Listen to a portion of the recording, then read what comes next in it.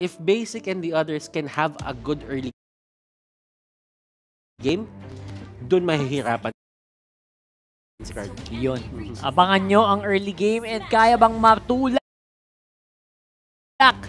ng Onyx PH into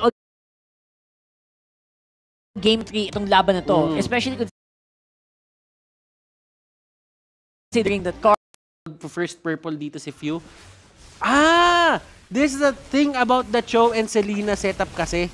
Kayang-kaya nila mag first blood as long as makajit kundo concussive blast si oh, Lasty. ikot, ikot lang no. Oo. Kapag ka nagawa nila yon, that is going to be the trap, the garrote, then that's going to be a kill. Yep.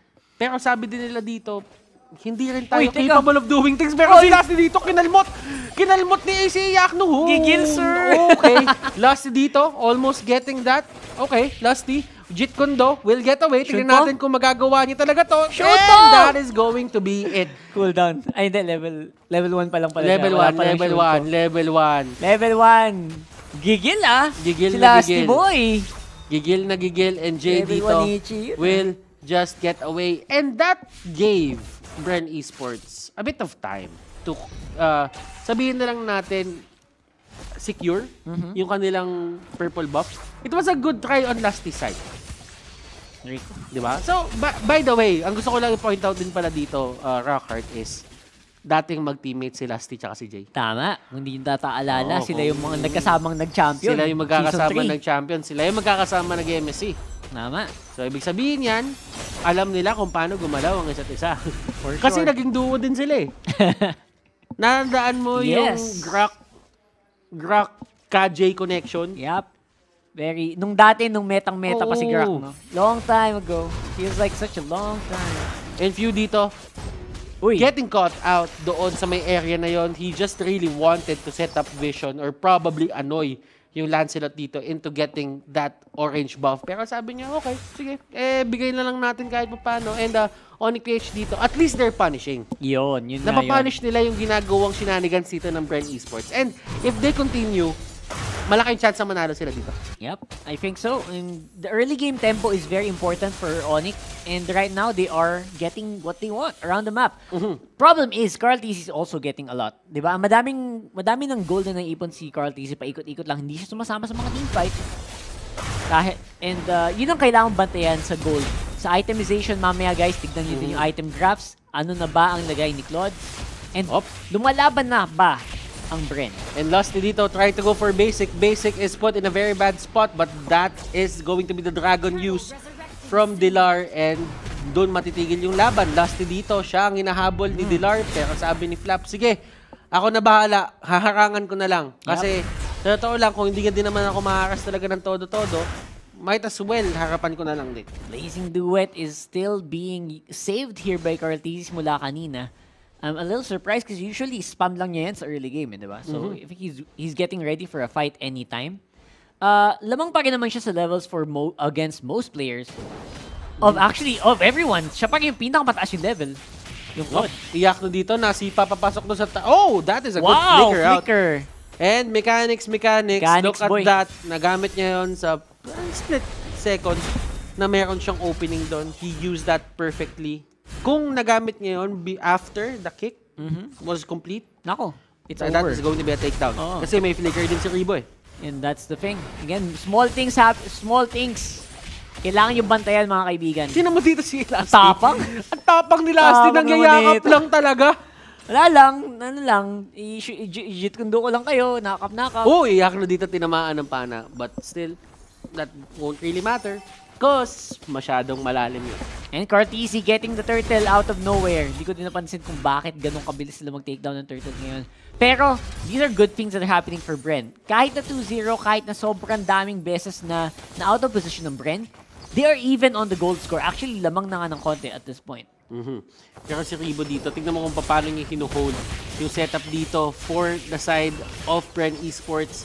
Yung crab coin sana pupunta nila kay Carl, but still nakuha yun ni Iakno.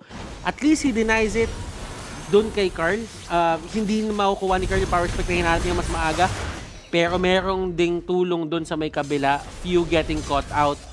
And ito yung ano eh, ito yung redeeming factor talaga sa ginagawa ng Onyx PH. hindi nila hinahayaan makuha ni Few yung galaw niya sa mapa Oo. na gusto niya. Na pinapakusahan nila as much as possible dito si Few para to the point na, alam mo yon hindi niya na makuha yung vision na gusto niya at napafunnel pa nila or nabibigay pa nila kay Basic yung mga kills. And that's going to be a kill on the Uranus.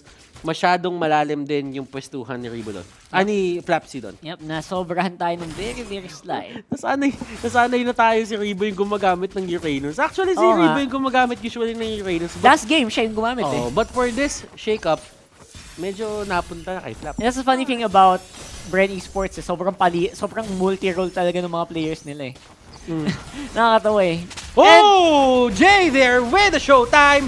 Let's see kung ano pa magagawa nila dito. Iyak no na knock up, pero he uses the flicker just in time. And Dilar dito yung dragon binabaril-baril. The, the pana will connect. And look at this, knock up after knock up. And eto na naman ang Bren Esports. They make the most out of the smallest mistakes. Napakaliit lang na misposition noon around the bush area. Akala mo walang mangyayari.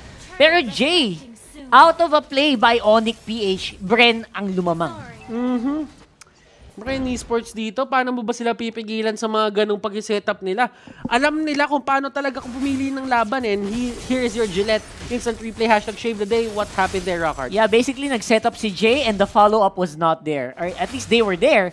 Pero parang alam ng Bren na susunod sila eh. Sabi ng Bren, sige, sumunod kayo. This is what we are going to do here. We're sac- sacrificed Lusty. Pero overall, masaya kami. Kasi after nun, naka-turtle pa ulit si Claude. Tinan mo, tinan mo si Carl dito. Mm, he Tapang. just goes in. And you know what? Dun sa replay na yon, tinamaan ng pana si Basic. Exactly. And that actually costed them a lot. Nag out of bounds na dito. Nag out of bounds na dito, ladies and gentlemen, si Dilar. Pero here comes the assault from Bren Esports. Onyx PH, they were looking so good. Si Flap dito, kamunti ka na siya ma-take down. Just literally tanking up everything. Dilar dito, medyo alam na nilang ah, kailangan na nila mag-stick dito sa kanilang base. Although, uh, I really want Onyx PH dito to take us to game number 3. But then again, Bren Esports, hindi nila hahayaan yun. And looking at how they control the map dito, pansinin mo yung side lanes, you'd know kung sino talaga yung nakalamang. Last dito trying to go in with the Jit Kondo. And here comes Kartzi. Basic going down. Jay will Si be the next target. Gusto pa ni Carl ng mas madaming kill. But they will stop there. And here comes the turret push. Will they go for the finish? That is the question. Oh, may Venus dito. Grabe. May ultimate ba siya? Yes, meron siyang ultimate at hindi ipipilit ng Bren Esports dito. Yung issue, they will just try to clear this as much as possible. But at this point on, nung bumalik na si Carl, I don't really think that they can force anything para, pa- para tapusin itong game. I think so too. 100% kill participation para sa Claude. 5-0 and 3 over 8 kills. Mhm, nahuli nila si Claude dito and this might be the perfect timing to actually get the kill on Kartzi. Ito na sinasabi natin, as long as matalunan si Kartzi, Yun na yun. magiging okay yung laban na to for the side of Onyx PH. Nahanap yun ng Onyx PH this time around and they will delay yung pag-push dito ng side ng Brent Esports. And look at this, 8 minutes in, 8-8 ang score natin. Ang daming 8. Dami, there's so many 8s. Unfortunately, dun sa 8 na yan, it's also gonna be Carl going down as well, which is super important. That means na walang turtle yung Claude ni Carl TZ mamaya. And that means na medyo magiging even fight. Kahit na medyo cool, lugi sila sa gold, lugi sila sa base, I think kaya talagang lumaban ng Onyx PH ng sabayan sa puntong ito, Hoy! laban sa Brent. Pinaba, Pinectus! Pinektusan! Pinectus! Wala! Yummy! Pinectus si Iyak, no? Hilo siya eh. Nahilo siya doon, man. How? How How? is that possible? Na, Just, eh wait lang, another yung... Another okay, one. may bago na tayong Brilliant. trick shot. Kung meron kayong tinatawag na freestyle, freestyle show initiation, may emoji combo kayo. Meron sila kasi yan, tinatawag na Pectus. The Pectus. The Pectus move. My God. Oh my Venus dito na. getting... The base, at least, hindi sila makakapag-finishing move. Pero napahina nila ang depensa ng Onyx PH sa laban na yun with a tower takedown. Kills are at 10 to 11. Very low kill game again, pero the impact can be felt all over the map, especially for Brent Esports. Si Carl TZ nang mamama na. Nang mamama. Batang-bata ka pa nang mamama ka na. Pero alam mo, yan talaga yung talent ni Carl. Eh. I mean, Basic and Wise are really talented players as well. I mean, actually, everyone here are talented players. Pero kasi, there are times kasi na kailangan i-enable ka ng teammates mo to do greater things. Yes. So, ibig sabihin dito, I think Carl C is a good player, is a, is a really good player, pero kasi kailangan mo din tignan kung paano siya i-enable ng mga teammates niya. Yeah, that's very important. Especially, magagawa ba niya yun kung wala dyan si Lasty, si Flap? Mhm, di ba? Si Nanggugulo, hindi na may mekto si Lasty. di ba? hindi! Kailangan niya yung tulong ng teammates Mm. niya, especially with few on that Selena, making sure that everyone is controlled and visible on the map at all times. Pero basic dito, he Agreed. can actually steal yung Lord dito. Pero tinan mo yung ginagawa Tinulak, ni Flap dito. hinabol. pabalik. And J, oh, J, oh! Wow! Grabe yun, ah! Dodge! Shaken and, Grabe yun, ah. shaken and bacon! Shaken and bacon! na shake and bake! Ito, si, si ano naman, si Basic, wala, na-bake lang. No, na bake lang. Si- Pero na shake and bake. na-shake and bake, And si man. Delar dito trying Agoy! to get a kill on Pinatay sa Carl kill. C. There is actually going to be a kill on Carl C. So this game will prolong for a bit, I think. Tatagal pa to. Pero meron ng tao na nandun sa other side Yung base! ng base dito. Yung and they base! actually trying to go for this. The minions are here. Few and the others. Ito na naman ang Brave Here we go again. Undefeated again on their streak. 2-0 today against Onyx PH. Kryptonite no more.